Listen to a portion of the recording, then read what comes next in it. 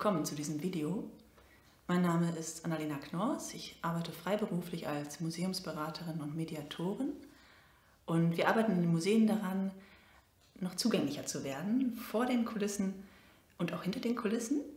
Und das Thema Zugänglichkeit dann auch langfristig und strategisch als Querschnittsaufgabe zu integrieren.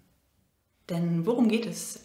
Es geht um ein schönes Museumserlebnis, um einen runden Museumsbesuch von der Website bis zum Museumscafé. Heute werden wir uns vor allem mit dem Publikum beschäftigen, mit dem Bereich vor den Kulissen und im weiteren Verlauf des Videos auch ganz konkret mit der Gruppe der Menschen mit Behinderung, also der Fokus Behinderung und welche Auswirkungen er auf den Museumsbesuch hat. Was haben wir konkret vor? Wir schauen uns zunächst den großen gesamtgesellschaftlichen Zusammenhang an. Dabei werden wir vor allem zu den Begriffen Diversität und Inklusion kommen. Und anschließend werden wir immer stärker hineinzoomen ins Museum als Organisation und als Ort äh, für BesucherInnen und für ein schönes Museumserlebnis. Und abschließend werden wir noch ein bisschen weiter hineinzoomen und uns dem Thema Behinderung und Barrierefreiheit widmen. Noch ganz kurz zu meiner Person. Ich selbst bin fast ganz blind. Es kann also sein, dass ich nicht immer ganz zielsicher in die Kamera blicke. Hier in Deutschland gibt es den Slogan Kultur für alle oder in Bezug auf Museen gesprochen Museum für alle. Es gibt den Anspruch von außen, dass Museen der Öffentlichkeit zugänglich sind, dass sie im Sinne aller sammeln, bewahren und ausstellen. Und es gibt vielleicht auch von innen den Anspruch äh, zu sagen, von ganzem Herzen versuchen wir das, für alle etwas zu ermöglichen, einen ja, schönen, schönen Museumsbesuch mit spannenden Inhalten. Aber was bedeutet das, dieses für alle? Wir schauen uns noch einmal zwei Begriffe näher an. Zunächst den Begriff der Diversität. Wir Menschen haben vieles gemeinsam, aber es gibt auch einige Merkmale, die uns voneinander unterscheiden. Und das ganz wertfrei.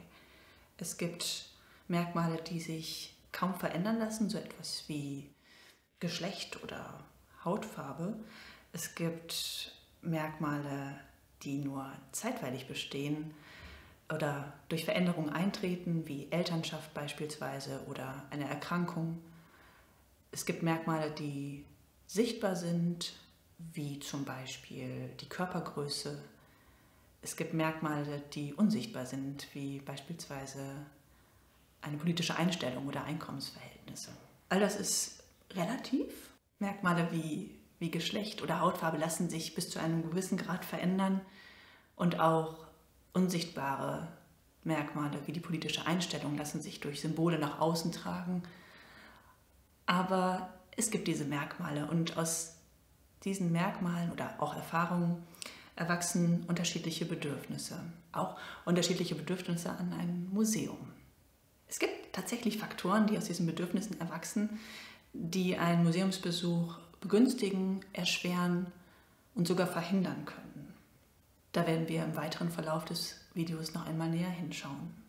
Es gibt keine allgemeine Definition von Diversität, aber ich habe Ihnen eine Definition mitgebracht, die mir persönlich sehr gut gefällt. Sie ist sehr neutral und stammt von einer Soziologin, von Andrea Bührmann. Sie spricht hier von mehreren Dimensionen von Diversität und besonders von ihrem Verhältnis zueinander. Also, dass Diversität vor allem dadurch entsteht, dass ein Unterschied besteht zwischen beispielsweise Hautfarben oder Körpergrößen.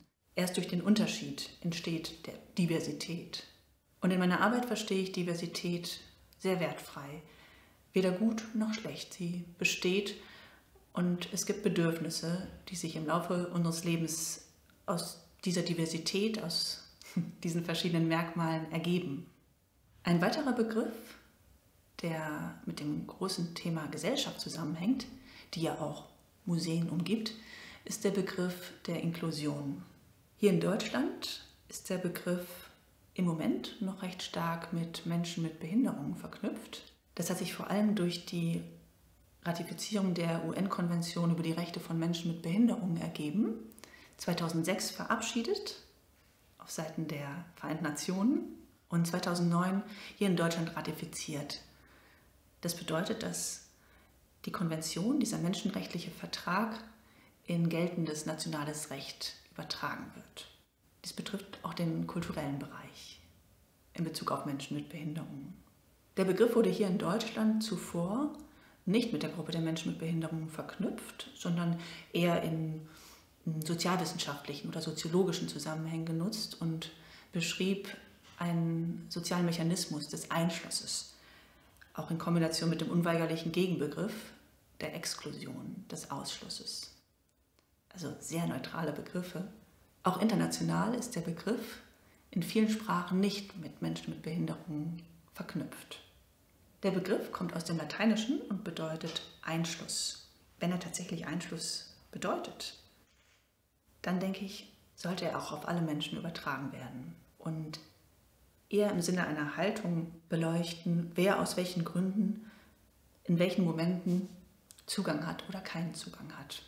Und auch zunächst zu versuchen, Zugang für alle zu ermöglichen und zunächst davon auszugehen, dass alle Bedürfnisse an den Zugang gleichwertig sind. Das bedeutet nicht, dass diese Bedürfnisse gleichermaßen erfüllt werden können. Da werden wir auch gleich noch einmal darauf zu sprechen kommen. Denn sie haben nicht unendlich viele Ressourcen, um Bedürfnissen zu begegnen. Aber Inklusion im Sinne von Haltung, Gleichwertigkeit aller Bedürfnisse, die an einem Museum bestehen können. Im ersten Schritt. Ich habe Ihnen auch hier eine Definition mitgebracht, einer Soziologin von Gudrun Wansing. Sie beschreibt Inklusion als ein universelles menschenrechtliches Prinzip des sozialen Zusammenlebens, das uneingeschränkt für die gesamte Bevölkerung und für alle Gesellschaftsbereiche Gültigkeit hat. Dies betrifft auch den Museumsbereich. Welchen Zugang Ihr Publikum zu Ihrem Museum hat, entscheidet ganz stark darüber, wie relevant es letztendlich ist. Wenn ich mich nicht orientiert, nicht satt, nicht inhaltlich inspiriert fühle, dann komme ich vielleicht erst gar nicht, weil ich nicht planen kann. Ich fühle mich nicht wohl und sicher vor Ort. Und ich werde Ihr Museum nicht weiterempfehlen.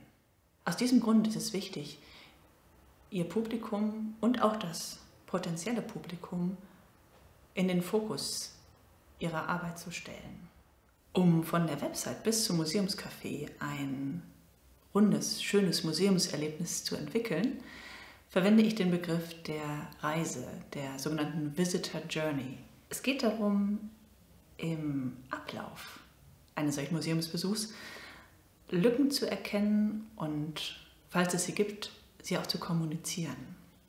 Wenn ich Interesse an einem Museumsbesuch habe und beispielsweise mit einem kleinen Kind unterwegs bin, das noch gewickelt werden muss, also auf einen Wickelraum angewiesen bin, dann suche ich im Vorfeld meines Besuchs nach Informationen.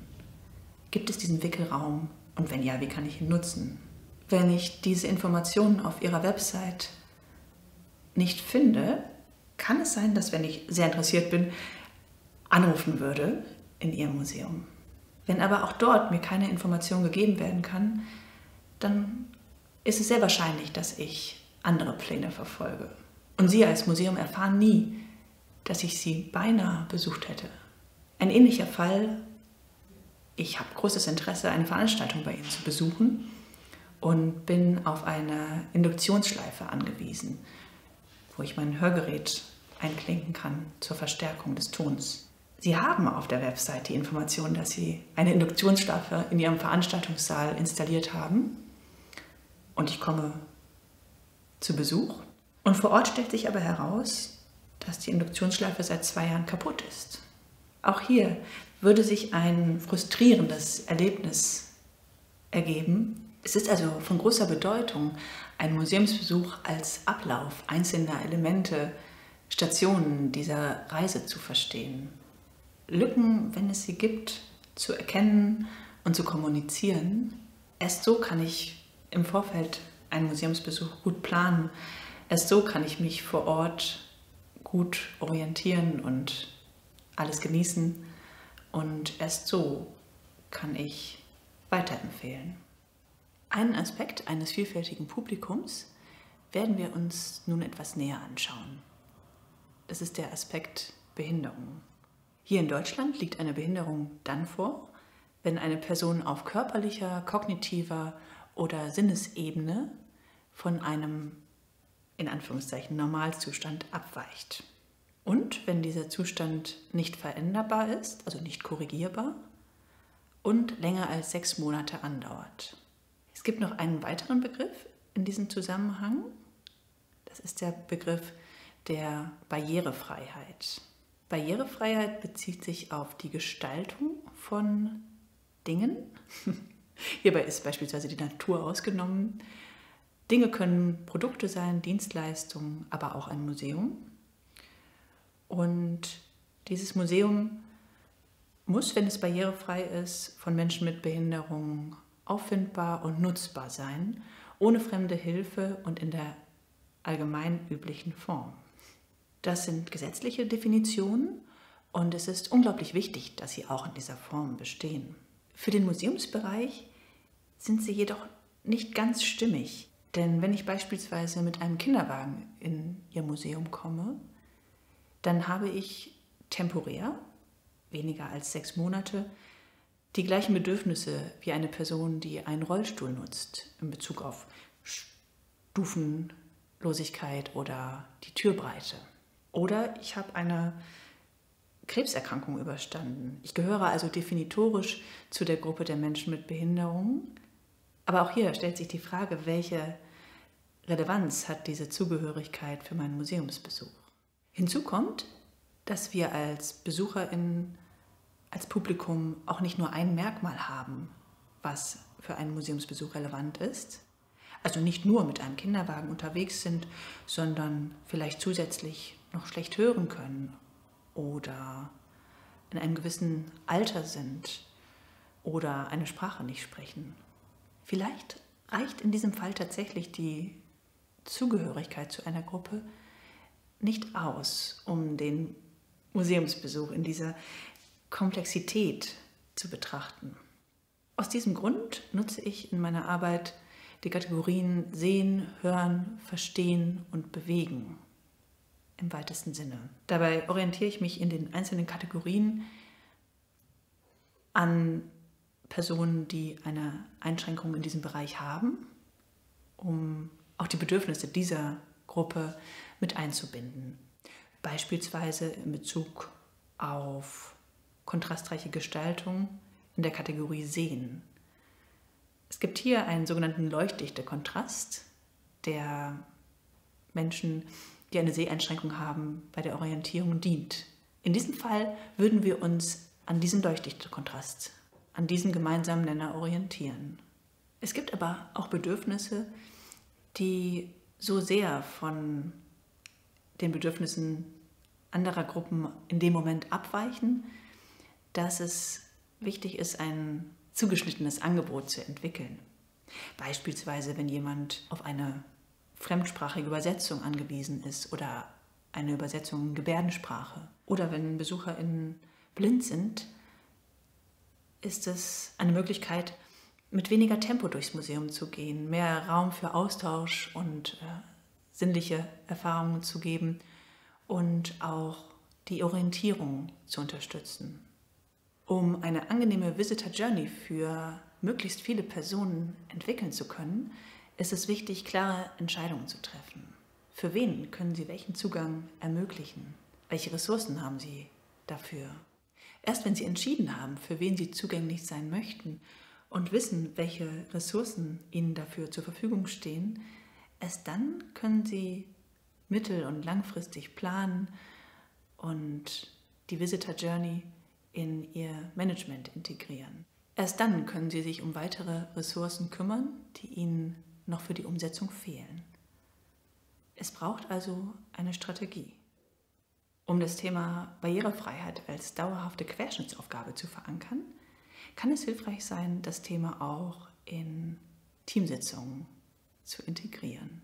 Ich habe Ihnen als Bild, als Bild für die Querschnittsaufgabe etwas mitgebracht. Das ist ein sogenanntes Faltmandala Dünne Drähte sind mit Perlen verbunden und ergeben ein ästhetisches Ganzes, eine Kugel. Damit am Ende eine runde Sache entsteht, arbeiten verschiedene Abteilungen zusammen, damit am Ende dieser Eindruck entsteht.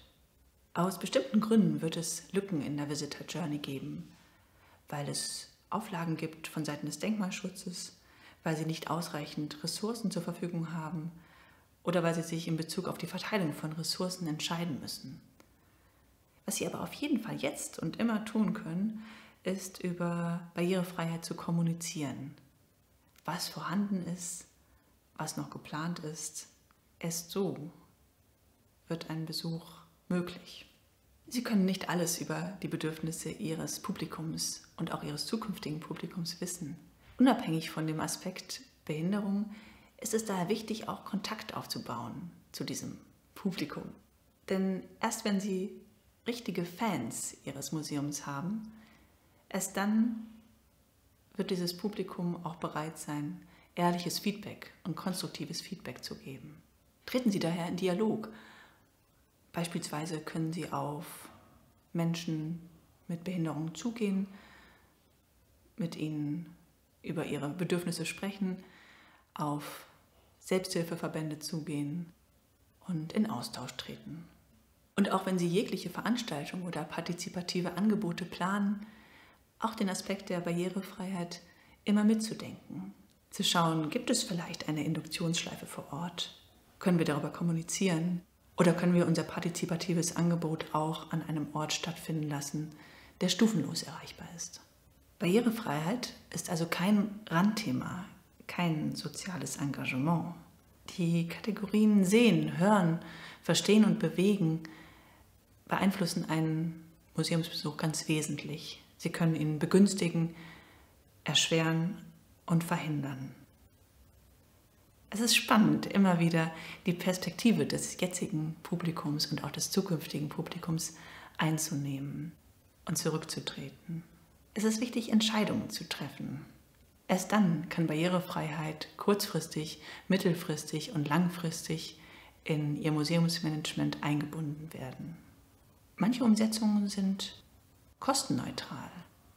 Manche bedürfen einer größeren Investition. Aber auch wenn Sie hier wissen, was Sie möchten und was Sie dafür brauchen, dann können Sie auch diese Investitionen gut planen. Probieren Sie aus. Gehen Sie manchmal einen Umweg.